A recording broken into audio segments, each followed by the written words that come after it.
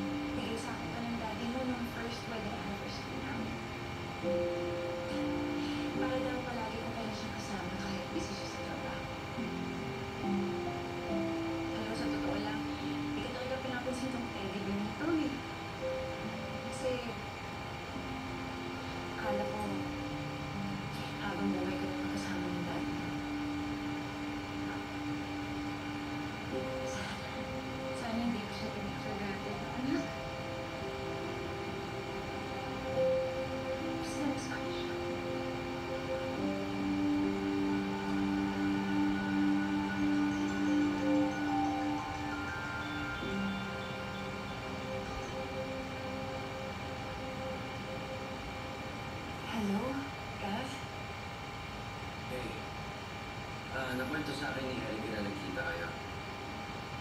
So sorry na nadawit ka sa ginawa ni Grace. Okay lang.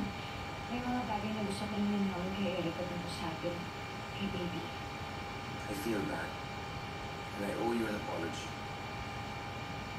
Alam ko na from the start na hindi mo kayang gawin yun, pero pinagbintangan pa rin kita. Kita mo si Sisi. Pagkatapos ng lahat ng gawa ko sa iyo. Let's put this behind us. And just focus on our baby. Hmm? Gusto ko rin yung gusto mo.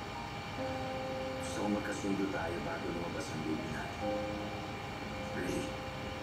I mean it. Salamat. Malaking bagay ko sa amin, Gabi. Thank you. Magpahinga ka na daw. Say hi to my baby.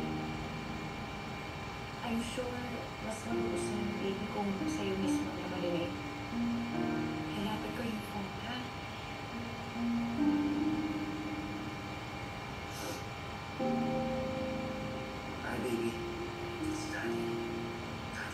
so, so much.